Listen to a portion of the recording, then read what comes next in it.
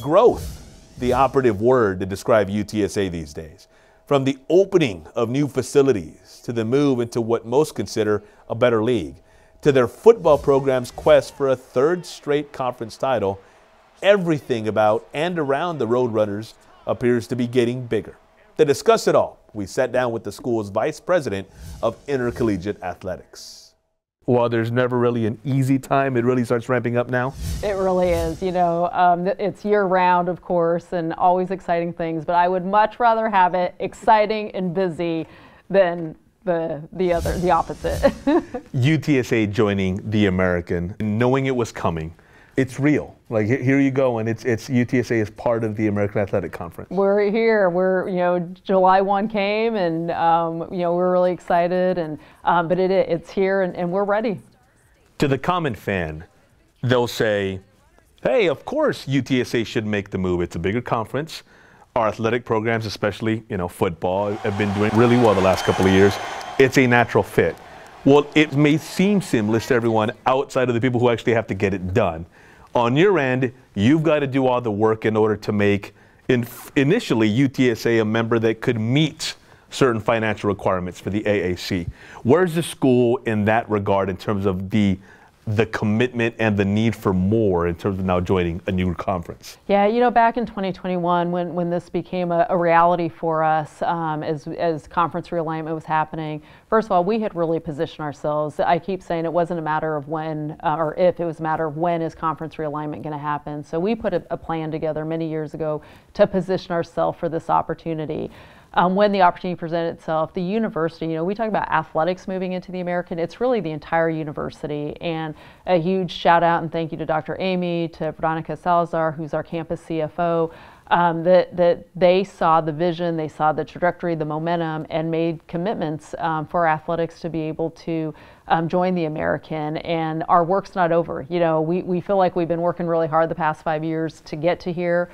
I mean, we are not taking our pedal off the, or our foot off the gas. That there's um, more work ahead of us, um, more strategic investment ahead of us. Um, but we're really proud over the last five years. You know, again, thanks to, to those two individuals, we've been able to move our, our budget from about $29 million to 40 million in a short amount of five years with COVID in between all yeah. of that. And so, you know, and a huge thanks to the community who has helped us get that done as well track and field and cross country programs getting a new home, soccer. Um, that seems to be part of the evolution here in terms of the school taking that next step? Absolutely. You know, that's a facility that when I first got here, um, our student athletes were talking about, and it had been something that had been promised to them. And um, so as we started planning race, we had that, um, the Park West facility in mind as well. And unfortunately, COVID hit and it um, you know, put a pause in, in, that plan. But as soon as we were in that position to get that moving again, we did. And uh, much deserved for, for those programs, um, like you said, track and field, um, cross country, soccer.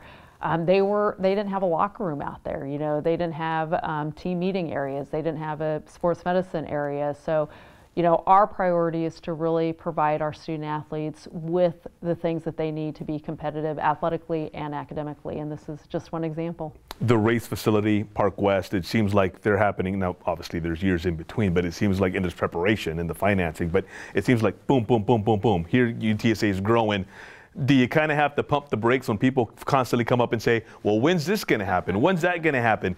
And, and I'm talking basketball as well. You know, when people talk about a new basketball facility and, and, and, and resources and et cetera, where, where is the school in that regard? Yeah, you know what? Like I said, we're not going to take our, our foot off the pedal. We, we there are are things that we need to continue to invest in, but it's not going to all happen overnight, right? That there are so many needs. Um, there are a lot of um, thing of growth opportunities in our department, particularly moving into the American. So we we've set out a strategic plan. Um, our Roadrunner game plan that's going to help us prioritize those needs. And at the end of the day, it's always going to be about our student athletes. When the Roadrunner fans turn on that TV, and let, us use football as the example because it's coming up soon, right? And, and, and they're getting ready for a Roadrunner football game, or they're anticipating the season, things along those lines. Do you see where there's going to be a point where the fans are going to realize oh yeah, this is a little bit different. We're in a bigger conference now. This is nicer. This is cooler. Or do you think maybe is it going to be a, a, situation where it's more gradual in terms of hitting the UTSA fan that hey, life is different now? Yeah, that's a great question, and I don't know if, if I could answer that. I think it could be different for every sport. I think what's going to be different for the fans is, is new rivalries, new teams, new logos, new mascots. Um, what's not going to change is how competitive um, our, our aspirations are, and in particularly in football. You know, we just heard from the commissioner that he's talking about us, um, you know, being in contention for a conference championship in our first year. So that's definitely not going to change. Coach Traylor getting our, our, our team in a position to be competitive isn't going to change. Um, but there might be, you know, obviously there's going to be some differences in the teams that we're playing sat down with uh, Mike Aresco a little while ago, the commissioner of, of the American, and I asked him, I was like, look, they're, they're coming into their first year, but do you already see UTSA as kind of an anchor school? And essentially he answered, yeah.